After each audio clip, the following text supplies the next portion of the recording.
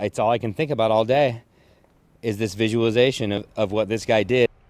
A Pacific Beach resident still traumatized by what he saw. A man beating his puppy to death because he said the spirits made him do it.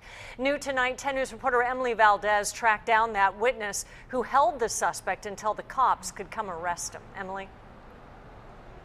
22 year old George Ramos is behind me here somewhere, sitting in a cell in the downtown San Diego jail. Now, neighbors tell me that that was his puppy and he lived in that complex.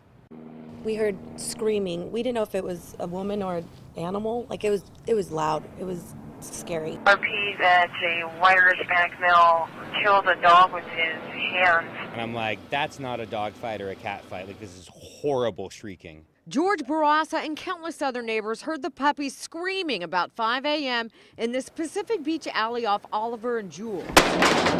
One neighbor who did not want to go on camera told me his wife called 911. He grabbed a flashlight and walked over to Ramos.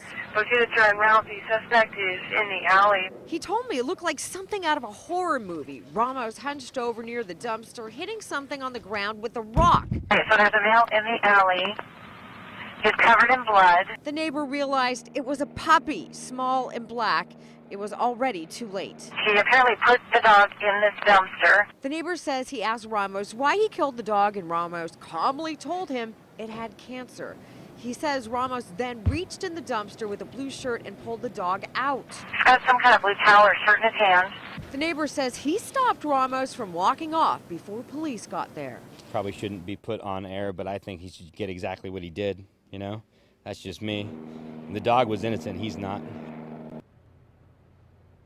And Ramos is charged with felony animal cruelty. His bail is set at $25,000. I'm live in downtown. Emily Valdez, 10 News. So horrible, Emily.